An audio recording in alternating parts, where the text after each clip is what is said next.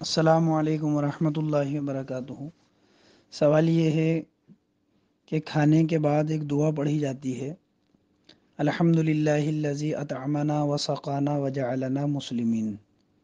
تو اس دعا کو عام طور پر جو پڑھا جاتا ہے، وہ یہ پڑھا جاتا ہے الحمد للہ الزی اطعمنا و سقانہ و من المسلمین۔ تو یہ دعا مسلمین من کے ساتھ ہے، من المسلمین ہے یا بغیر من کے ہے؟ یہ جو دعا ہے، یہ شمائل ترمیزی کے اندر ہے۔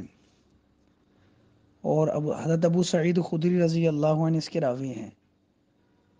وہ فرماتے ہیں کانا رسول اللہ صلی اللہ علیہ وسلم اذا فرغ من تعامه قال الحمد للہ الذي اطعمنا وسقانا وجعلنا مسلمین کہ جب حضور صلی اللہ علیہ وسلم کھانے سے فارغ ہوتے، تو آپ یہ دعا پڑھتے تھے۔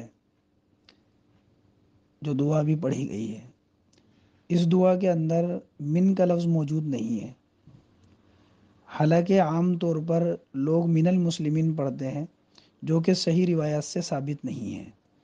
اس لیے بغیر من کے اس دعا کو پڑھنا چاہیے۔ اس طرح پڑھیں الحمد للہ الزی اطعمنا و سقانہ و جعلنا مسلمین۔ باقی کھانے سے فارغ ہونے کے بعد احادیث کے اندر اس کے علاوہ اور بھی دعائیں منقول ہیں۔ جیسے روایتوں کے اندر آتا ہے کہ آپ علیہ السلاۃ والسلام جب کھانے سے فارغ ہوتے تو آپ یہ دعا پڑھتے الحمد للہ الزی اطعم وسقا وصوغ وجعلہ مخرجا.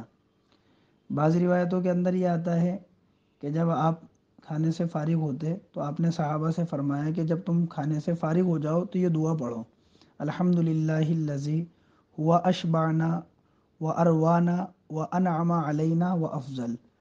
بعض روایتوں کے اندر آتا ہے کہ آپ نے اس دعا کے بارے میں فرمایا الحمد للہ الزی اطعمنی حضرت تعامہ و من غیر حول منی ولا قوت اس دعا کو پڑھنے کے لیے آپ نے فرمایا۔